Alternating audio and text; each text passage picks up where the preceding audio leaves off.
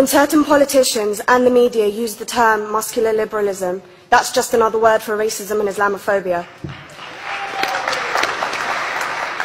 This stance on Islam has led them into primary schools to ascertain why young girls wear the hijab, as it could be interpreted as a sexualization of these young girls. I say shame on Ofsted for victimizing young girls, for choosing to wear religious articles of clothing. There is no such measure made for other religions or other articles of religious wear.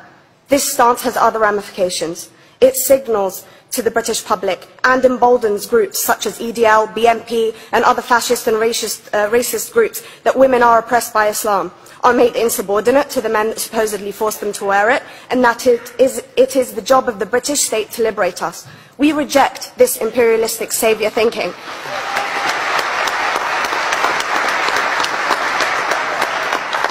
And I am here to state for all people who choose to practice their beliefs openly that we are not oppressed by our faith. Islam is not one homogenous block. There are Muslim women who do not wear the hijab, and that is their interpretation of their faith. The Quran beautifully states, La ikraha fid din, which translates to there is no compulsion in religion.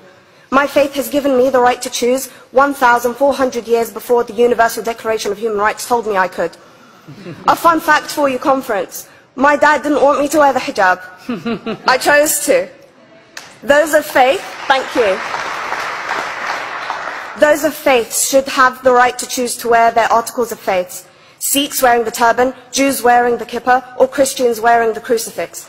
Practicing my right to freedom of expression through the hijab empowers me and other women like me to know that we are able to make decisions for ourselves.